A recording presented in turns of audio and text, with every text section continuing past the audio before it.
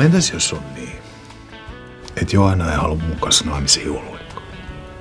Minkä takia te olette murtautunut tähän asuntoon? Koska tää on hätätilanne. No olispa kiinnostavaa kuulla, mikä tämä hätätilanne on. Täällä on ainoa olemassa oleva tieto siitä, kuka mun lapsen isä on. Rahat ei riitä. Vuokraa vai? Eikö yhtä mihinkään. Siedi varo!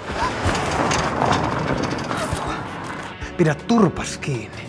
Ja painu helvettiin! Ah!